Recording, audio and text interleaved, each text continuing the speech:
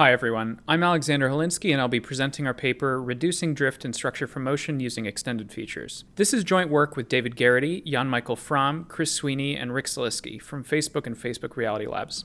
So as a bit of motivation, recently it's gotten pretty easy for us to capture 3D models of everyday scenes, right? It's just a matter of pulling out our smartphone and capturing a short video clip. Once you have a video scanning the object, we can throw it into our favorite reconstruction algorithm and it usually gives us something pretty reasonable.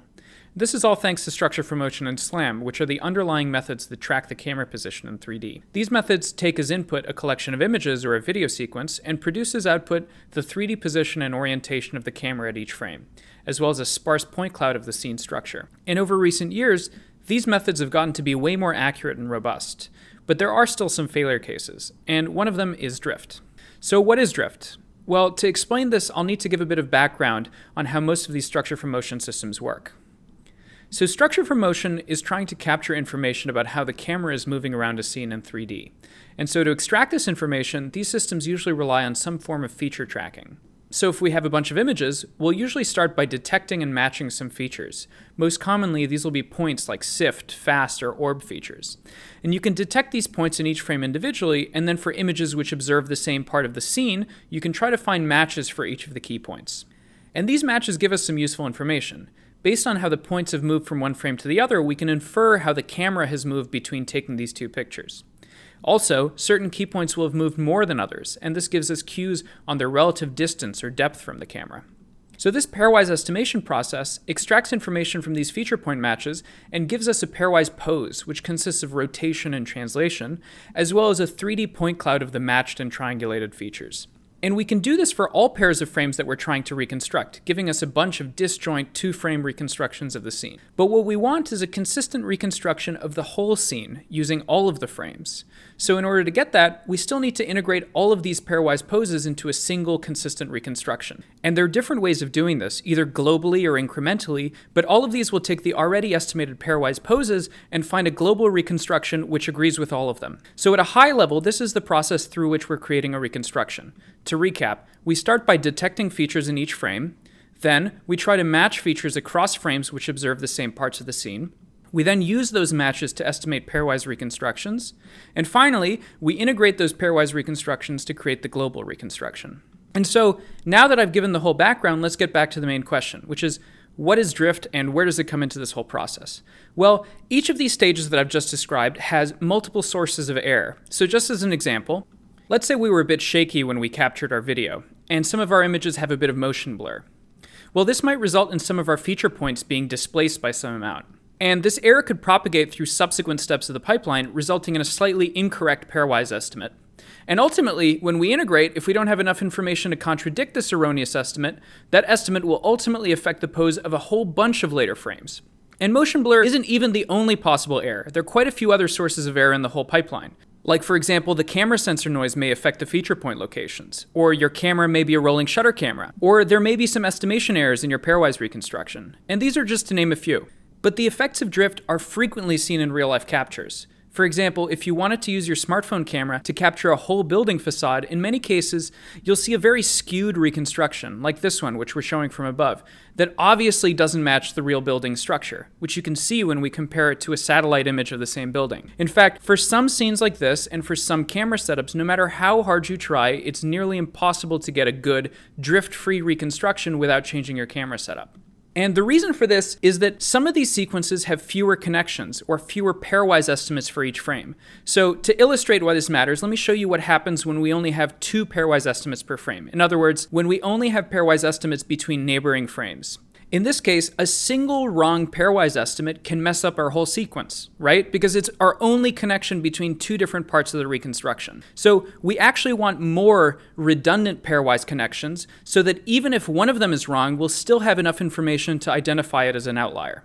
But the number of redundant pairwise connections that we can have depends on the overlap of our sequence. Effectively, for each frame, how many other frames observe the same part of the scene. The more of these, the better, obviously, but certain cameras and configurations result in limited overlap. For instance, if your camera is too close to the subject, or if your field of view is too small, you're seeing less of the scene in each frame, making it less likely that other frames will see the same part of the scene. And this is why you typically see a lot of capture rigs using wide field of view or fisheye cameras, because it allows them to have a high chance of overlap with other frames. But in most cases, we don't have a choice. We're stuck with our smartphones, which have low fields of view, and we want to capture something like a building in a city center. Sometimes we have no choice but to capture the building from the adjacent sidewalk. Well, what happens then? Is there any way to avoid drift? Well, this is the main problem that we're solving in our paper. Our method makes it possible to get accurate structure in a lot of these scenarios that would be nearly impossible to capture without visible drift. So, how does it work? Well, as we said, normally, structure from motion establishes constraints between pairs of frames which mutually observe the same part of the scene by finding and matching feature points from each frame. Our method addresses drift through what we call extended features, which can be matched across frames that see totally different parts of the scene, allowing us to enforce pose constraints on pairs of frames that are arbitrarily distant. We demonstrate two examples of extended features, one for addressing rotational drift and one for addressing translational drift. For our first extended feature, which addresses rotational drift, we use vanishing points. So if you have a bunch of parallel lines in a scene, like in this image, you can find groups of parallel lines and trace them to the point of intersection. And that gives you a 3D point called a vanishing point. And three of these orthogonal vanishing point directions, the three vectors from the camera to the vanishing point, can also be thought of as a coordinate frame, which remains constant for a Manhattan scene. So as we move around a building like this one, wherever we find Manhattan structure, we can estimate the vanishing point directions relative to the camera viewing direction. And this gives us another signal on the orientation of the camera. And unlike feature points, we can compare these vanishing point directions between any two frames. They don't need to be seeing the same parts of the scene. So this provides us with drift-free global constraints on specifically the rotations of our reconstructed cameras. And we see that when we apply these constraints, it removes a lot of the bending in our reconstructions. But still, it doesn't solve the problem entirely, and we can see that our reconstructed structure still doesn't match the satellite image. And this is because we've only removed the drift from the rotational component, but there's still drift in the translational and scale components.